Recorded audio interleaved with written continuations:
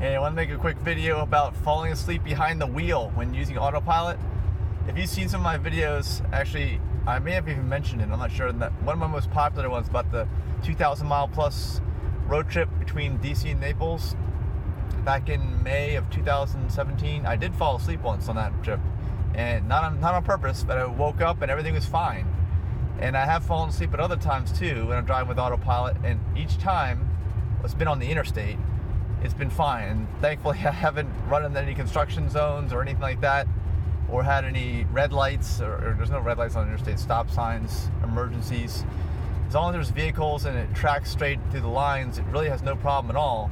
And I'm happy to say nothing happened. It didn't run off the road or get hurt or kill anybody or have a crash or anything. But have you known anybody else who's used autopilot and uh, fallen asleep at the wheel? Let me know. I'd like to hear from you. And uh, if you have any questions about how that works, let me know too. I'll be happy to read through everything and answer you. Thanks for watching.